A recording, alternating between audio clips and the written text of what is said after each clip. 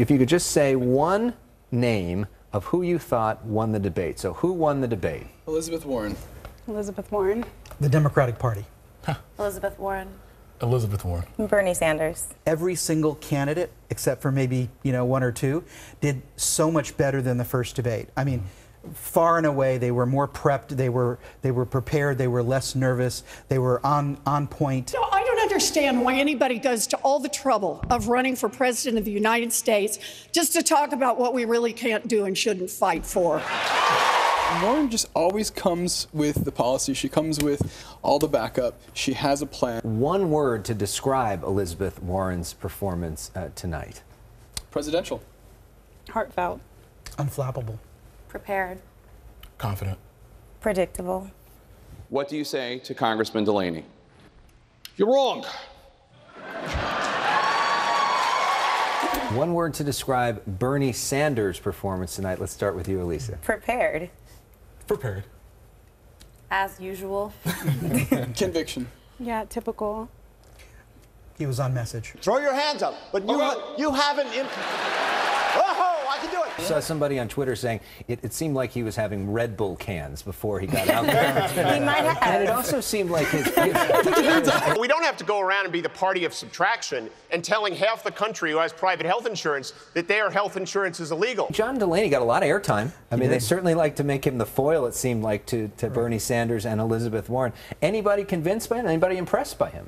Not at all. I think that he actually, the, the more he spoke, the more he helped. Uh, Elizabeth Warren and Bernie Sanders, and it's it, it just he he wasn't hitting the mark Well, you at saw all. him there in that moment. He just kind of melted. Yeah, she he said wasn't what she hitting the said. mark. She was Yeah. like, uh, and just he didn't have any reply to her. If we embrace a conservative agenda, you know what we're, they're going to do? They're going to say we're a bunch of crazy socialists. So let's just stand up for the right policy, go out there and defend it.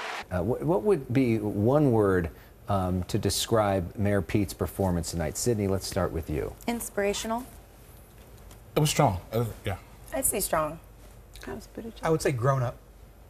He represented a moderate, like, sensical point of view. He wasn't so far one way or the other. He seemed like somebody you could definitely connect with as a regular American. He represented balance.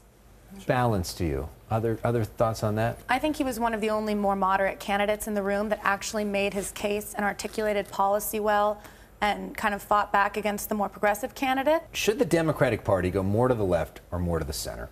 I don't think you're winning as many votes as you think you are going to the center at this point. We really need, I think you need to motivate the left at this point. I'm from Detroit. I'm from where the debates were held tonight. We forget about that central point of view, and there's a huge voting pool within that center. In terms of actually winning swing voters in swing states, the people that determine who wins the presidency, mm-hmm. who is best to do that? Pete Buttigieg. Buttigieg. Pete He Buttigieg. messages well, yeah. All of you guys yeah. think that Because he Mayor Pete represents was the best. Yeah. And he has the he's also bio. served. What? Sorry, he, he served and he has the bio to back it Yeah, up, unlike a lot of those candidates, Yeah. right? So does that then make you more likely to want Mayor Pete over Senator Warren or, or Still Senator No, Sanders? you want Mayor Pete over Senator Warren because you have to realize Medicare for all and uh, all of the things that they want to do. It's it, it sounds great to some, but it's scary to a lot. So a lot of people are not going to vote for Senator Warren or Bernie Sanders because of the radical changes that they're making. What makes you qualified to determine how much is owed in reparations? There was 250 years of slavery, followed by another 100, 100 years of domestic terrorism. As African Americans, what, what did you make of that moment? That was the first time I was impressed with anything she had to say in the Absolutely. last three debates. I mean, she actually came out and had a plan from A to Z. She had numbers, she had figures, she had dollar amounts, she had number of people. I think reparations goes beyond obviously money. It would be going into the prison system and going into the whole system of where we've been um, victimized and harmed. Um, medicine, uh, you know, going into LA and doing experimentation with, you know, drugs and vaccines on Latino and black kids. I mean, it goes into reparations is not just about money, it's about looking at the whole system again.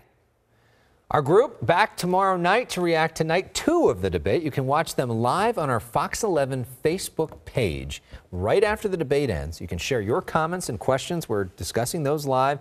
And you can look for highlights of that conversation tomorrow night right here at the same time on the Fox 11 News at 10.